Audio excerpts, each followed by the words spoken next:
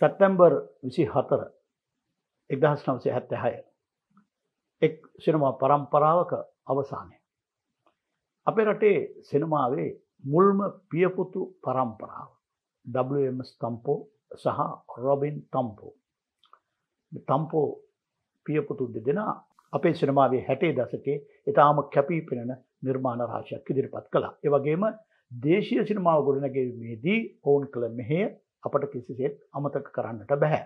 විචාරක මතවාද කොයි හැටි වෙතත් ජනප්‍රිය සිනමාවේදී නැත්තම් ජනාකර්ශණය සිනමාවේදී මේ තම්පෝ පියපුතු දෙදෙනා කරපු මෙහේ අපිට අමොත්තක කරන්නට බැහැ අවතක්ෂරු කරන්නට බැහැ.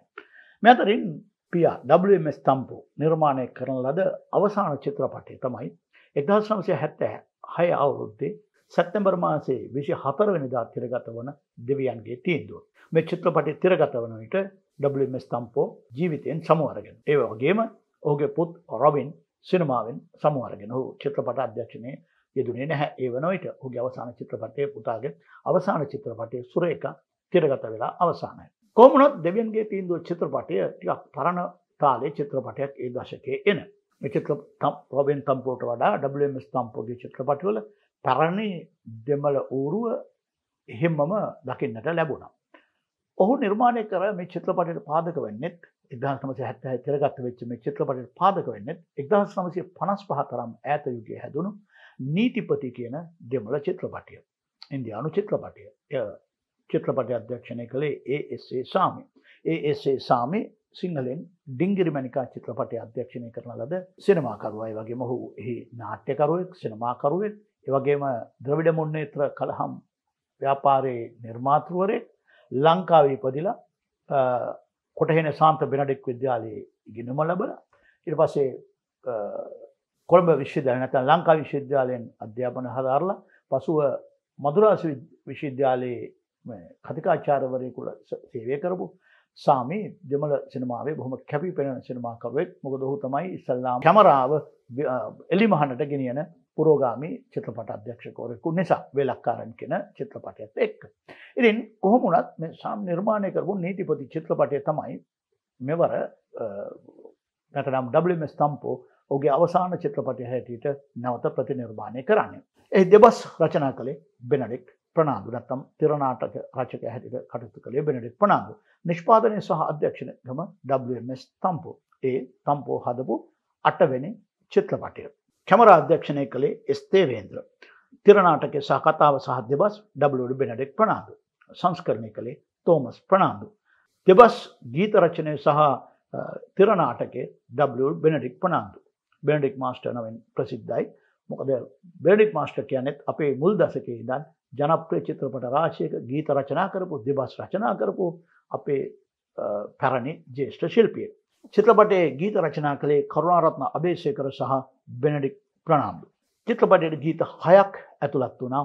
ගීත සංගීතවත් කළේ තිලක් කරුණාරත්න. මේ චිත්‍රපටයේ ආපු ගීත හයම ස්වතන්ත්‍ර ගීත.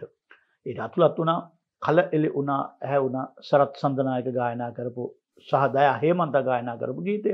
මඳ පවන හරිම සීතයි සරත් සඳනායක සදා හේමන්ත ගායනා කරපු. හොඳ නම ලෝය රුවෙන් රුවන් වගේ ලතා වල්පොල. සමාන වී ඉපදී මිහි තලාවේ මල්ටන් පෙරේරා බලන්න අම්මා සහපුතුන් වහිදින් බෙග් සසරෙහි සැප සිහිනෙන් ගෑ මිල්ටන් පෙරේරා.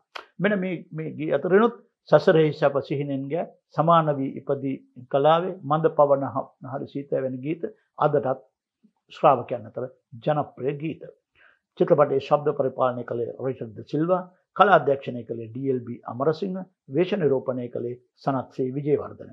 එමෙන්ම චිත්‍රපටේ සමාධ්‍යක්ෂකවරයා ලෙස කටයුතු කලා කඳපොල කුමාරතුන්ග පසු කලෙක ජනප්‍රිය චිත්‍රපට අධ්‍යක්ෂකවරයෙක් නවකතාකරුවෙකු හැටියට පතල වෙච්ච කඳපොල කුමාරතුන්ග මේ චිත්‍රපටයේ සමාධ්‍යක්ෂකවරයෙකු හැටියට කටයුතු කළා. චිත්‍රපටය රූපගත කරන ලද්දේ ආර්ට චිත්‍රාගාරය ඒ රොබින් තම්පෝට අයත් ආර්ට චිත්‍රාගාරය එවකට වැල්ලම් පිටිය පැවතුන. අවසාන සංස්කරණ කටතුවලදී පමණක් කිරලපන සලෝන ස්ටඩියෝස් ආයතනය චිත්‍රපටයේ වැඩ කටයුතු සඳහා දායක වුණා. චිත්‍රපටයේ ප්‍රධාන චරිත රඟපෑවා නීටා ප්‍රනාාන්දු ටෝනි රණසිං ඔස්සල් ජයසිං ඇන්තනිසි ප්‍රනාාන්දු ලෙනී කුරොප්පු රයිට රත්නායක මක් සමරණයක Sita Kumari Piyadasa විජයකෝන් Devika Karunaratne bus Perera Lillian Edirisinghe Don Sirisena Rowena Deepani Martin Gunadasa චිත්‍රාද Soysa Upul Gamage ආදී. චිත්‍රපටය කොළඹ රෙඩ් සිනමාහල ඇතුළු සිනමාහල් දාශයක ප්‍රදර්ශනය කළා. හැබැයි චිත්‍රපටය තිරගත කරපු ඒ මුල් දවසේවත් මංගල දර්ශනයක් හැටියට ඒ කාලේ මංගල දර්ශනය කියන එක තාම ජනප්‍රිය දෙයක්. නමුත් මම හිතන්නේ WM ස්තම්ප මහත්මයා ජීවත්ව නොසිටිය නිසා දෝ මේ චිත්‍රපටයට මංගල දර්ශනයක් පැවැත්වුවේ නැහැ. දින 56කට වැඩි කාලයක් ඒ මුල් සිනමා ශාලාවල මේ චිත්‍රපටය තිරගත වුණා. චිත්‍රපටයට පාදක වෙන්නේ ජයපාල හාමුත් ඔහුගේ පිරිත් මේ පෙම්බතිය සෝනියත් මිතුරු සනිත් රාත්‍රී සමාජ ශාලාවක රංගුමක් නරඹන දර්ශනයකින්. ඒ එන බබානිස් කියන පුද්ගලයා ජයපාලගේ සොහිවරාට අසනීපයි කියලා දැනුම් දෙනවා. ඒත් ජයපාල එතන් යන්නේ නැහැ මොකද තමන්ගේ සොහිවරා පහළවා හැරලා තියෙන නිසා. කොමුණක් අයියාගේ දේපල වලින් සැපවිදීමට පෙම්වති හා මිතුරාගේ යෝජනාව නිසා ජයපාල නිවසට ගිය විටත් සොහිවරා මිය ගිහිල්ලා. දේපල පාලනය ලැබුණත් සේවකයන් නකීකරු බව පවසා දේපල තමා නමට ලියන ලෙස නෑනාගෙන් ඉල්ලනවා. එහෙම වුණත් නෑනා එල්ලීම ඉටු කරන්නේ අර බබානිස් කියන සේවකයාගේ විරෝධතාවයෙන් මැද. මේ වෙනුවට ඇයට සුසිල් කියලා පුතෙක් වෙනවා තව පුතෙකුත් ඉන්නවා. කොහොම වුණත් සෝනියා ඊට පස්සේ කරන්නේ මේ සුසිලව මේ ගෙදරම මෙහෙකාරීගේ තත්ත්වයට පත් කරනවා. දරුවා මේ කාන්තාවත් මරන්නට කරන ප්‍රයත්නයක් නිසා ඇය මේ ගෙදරින් පැනලා යනවා. එක දරුවෙක් පැහැරගත්තත් අනික් දරුවාට බබානිස් පිහිට වෙනවා.